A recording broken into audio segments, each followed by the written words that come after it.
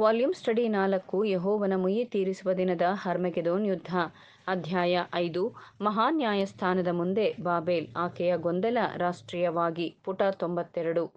ಈ ಖಂಡದ ಆವಿಷ್ಕಾರದ ವಿಶಿಷ್ಟ ಸಂದರ್ಭಗಳು ಮತ್ತು ಈ ರಾಷ್ಟ್ರವನ್ನು ಅದರ ತಾಜಾ ಮಣ್ಣಿನಲ್ಲಿ ಸಸಿ ನೆಡುವುದು ಉಸಿರಾಡಲು ಗಾಳಿಯನ್ನು ಮತ್ತು ಅದರ ಸಂಪನ್ಮೂಲಗಳನ್ನು ಅಭಿವೃದ್ಧಿಪಡಿಸುವುದು ದೈವಿಕ ಅನುಗ್ರಹದ ಹಾದಿಯಲ್ಲಿ ಒಂದು ಹೆಜ್ಜೆಯಾಗಿದೆ ಎಂದು ವಿಚಾರಪರ ಹಾಗೂ ನಿಷ್ಪಕ್ಷಪಾತವಾಗಿ ಅನುಮಾನಿಸಲು ಸಾಧ್ಯವಿಲ್ಲ.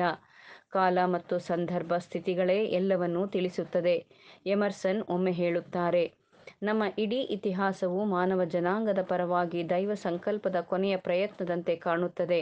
ಆದಾಗ್ಯೂ, ಅವರು ಯುಗಗಳ ದೈವಿಕ ಯೋಜನೆಯನ್ನು ಅರ್ಥಮಾಡಿಕೊಂಡಿದ್ದರೆ ಆತ ಅದನ್ನು ಹೇಳುತ್ತಿರಲಿಲ್ಲ. ಅದು ದೈವಿಕ ಅನುಗ್ರಹದ ಕೊನೆಯ ಪ್ರಯತ್ನ ಅಲ್ಲ ಎಂದು ದೈವಿಕ ಯೋಜನೆಯ ಬೆಳಕಿನಲ್ಲಿ ಸ್ಪಷ್ಟವಾಗಿ ತಿಳಿಯುತ್ತದೆ. ಆದರೆ ಉತ್ತಮವಾಗಿ ವ್ಯಾಖ್ಯಾನಿಸುವುದಾದರೆ ದೈವಿಕ ಉದ್ದೇಶದ ಸಾಧನೆಗಾಗಿ ದೈವಾಯುಕ್ತ ಸನ್ನಿವೇಶಗಳ ಸರಪಣಿಯ ಕೊಂಡಿ ಎಂದು ಹೇಳಬಹುದು. ಅದು ಸಾಮಾಜಿಕ ದಬ್ಬಾಳಿಕೆ ಮತ್ತು ಕ್ರೈಸ್ತ ಪಾದ್ರಿಗಳ ಪ್ರಜಾಪೀಡನೆಯಿಂದ ಎಲ್ಲಾ ದೇಶಗಳ ತುಳಿತಕ್ಕೊಳಗಾದವರಿಗೆ ಇಲ್ಲಿ ಆಶ್ರಯ ನೀಡಲಾಗಿದೆ. ಇಲ್ಲಿ ವಿಶಾಲವಾದ ಸಾಗರ ಅರಣ್ಯದಿಂದ ಪೂರ್ವಕಾಲದ ನಿರಂಕುಶಾಧಿಕಾರದಿಂದ ಬೇರ್ಪಟ್ಟು ಸ್ವತಂತ್ರದ ಉತ್ಸಾಹವು ನಿರಾಳ ಉಸಿರಾಟದ ಸ್ಥಳವನ್ನು ಸ್ಥಾಪಿಸಲ್ಪಟ್ಟಿತು.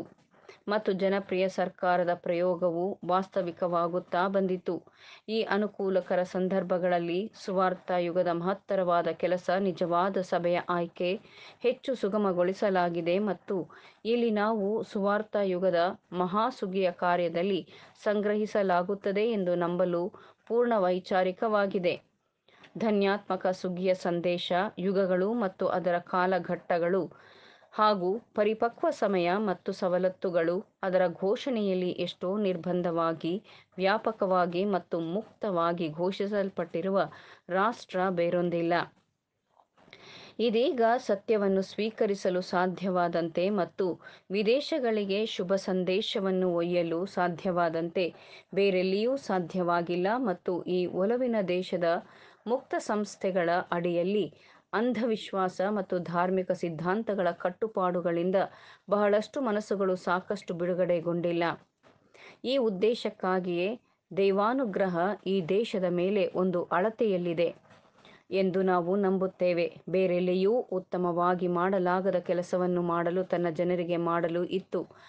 ಆದದರಿಂದ ದಬ್ಬಾಳಿಕೆಯ ಹಸ್ತವು ಸ್ವತಂತ್ರದ ಮನೋಭಾವವನ್ನು ಹತ್ತಿಕ್ಕಲು ಪ್ರಯತ್ನಿಸಿದಾಗ ಬಡವರಾದರೂ ಧೈರ್ಯಶಾಲಿ ಸ್ವತಂತ್ರ ಪ್ರೇಮಿಗಳನ್ನು ಮುನ್ನಡೆಸಲು ವಾಷಿಂಗ್ಟನ್ ಅನ್ನು ಉನ್ನತಗೇರಿಸಲಾಯಿತು.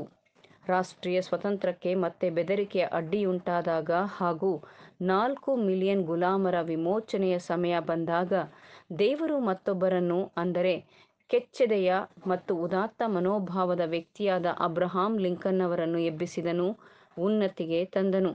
ಆಗ ಅವರು ಗುಲಾಮಗಿರಿಯ ಸಂಕೋಲನೆಗಳನ್ನು ಹೊಡೆದು ರಾಷ್ಟ್ರದ ಏಕತೆಯನ್ನು ಕಾಪಾಡಿದನು. ಆ ದೇಶವು ಒಂದು ರಾಷ್ಟ್ರವಾಗಿ ಈಗಲೂ ದೈವಿಕ ಅನುಗ್ರಹದ ಮೇಲೆ ಯಾವುದೇ ಹಕ್ಕು ಸಾಧನೆ ಹೊಂದಿಲ್ಲ ಮತ್ತು ಎಂದಿಗೂ ಹೊಂದಿರಲಿಲ್ಲ. ಅದರ ಕೆಲವು ವ್ಯವಹಾರಗಳಲ್ಲಿ ದೈವಯುಕ್ತ ಪ್ರಭಾವ ಬೀರುವಿಕೆಯ ಜನರ ಹಿತಾಸಕ್ತಿಗಳಲ್ಲಿ ಮಾತ್ರ ಹೊಂದಿದೆ. ಒಂದು ದೇಶವಾಗಿ ಆ ದೇಶವು ದೇವರಿಲ್ಲದೆ ಮತ್ತು ಶಾಶ್ವತೆಯ ನಿರೀಕ್ಷೆ ಇಲ್ಲದಿರುವಾಗ ಅವರ ಮೂಲಕವಾಗಿ ದೇವರು ತನ್ನ ಜನರಿಗೆ ತನ್ನ ಸ್ವಂತ ತಿಳುವಳಿಕೆಯ ಉದ್ದೇಶಗಳನ್ನು ಪೂರೈಸಿದಾಗ, ಆತನು ತನ್ನ ಚುನಾಯಿತರನ್ನು ಒಟ್ಟುಗೂಡಿಸಿದಾಗ ಮಹಾಸಂಕಟದ ಗಾಳಿಯು ಇದರ ದೇಶಗಳ ಮೇಲೆ ಬೀಸಿದಂತೆ ಅದರ ಮೇಲೂ ಬೀಸಬಹುದು. ಯಾಕೆಂದರೆ ಅವುಗಳಂತೆಯೇ ಈ ದೇಶವೂ ಸಹ ಈ ದೇಶದ ರಾಜ್ಯಗಳಲ್ಲಿ ಒಂದಾಗಿದೆ. ಇದು ದೇವರ ಪ್ರಿಯ ಕುಮಾರನ ರಾಜ್ಯಕ್ಕೆ ಸ್ಥಾನ ನೀಡಬೇಕು ಎಂಬುವುದೇ.